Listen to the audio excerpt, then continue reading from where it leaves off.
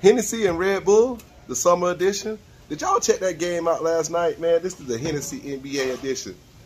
Boy, I thought the Heat was gonna win it, but they didn't. Hey, is the NBA rigged? Yes or no? Drop a comment. And drop a comment if you tried this before. This is Juneberry. Red Bull. I kind of enjoy this one. This is my second time mixing this. Cheers.